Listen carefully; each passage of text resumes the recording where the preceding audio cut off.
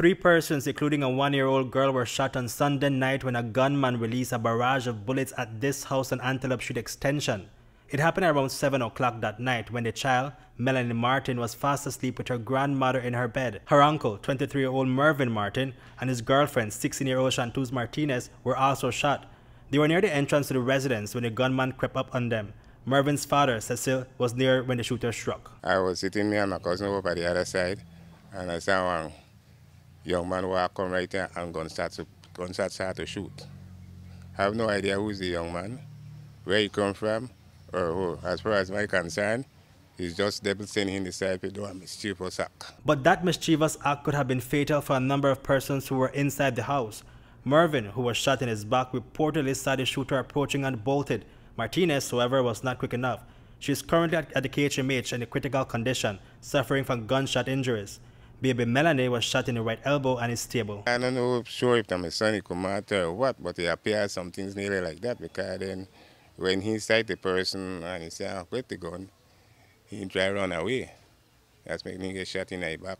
But hopefully his, his girlfriend never make it when the gun's bullet started, so she that the one sustained the most injury. The shooter then trained his handgun at the house with several persons inside. Young angel in the house, my wife in the house, my daughter in the house, he and the two baby with the angel, and he just come in and shoot up with no kind of sense.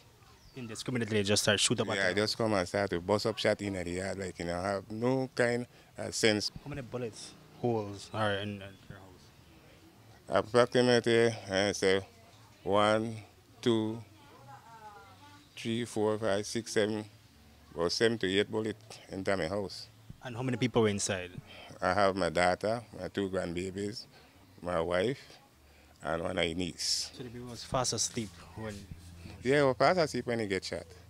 An angel, and you're supposed to realize how much God protect an angel. So you could have killed the whole family with them barrage that shot and no sense. The shooter then scurried into the darkness. Quick police work led to the arrest of two suspects and the recovery of the firearm. Police investigations so far had also led to um, two persons being detained which we believe are connected to this investigation and the recovery of a handgun also in the um, Antelope Street extension area. At this point in time we do not have a uh, clear motive, so we are still trying to establish that. Your son ever tell you have a beef with anybody in the area or with any other body?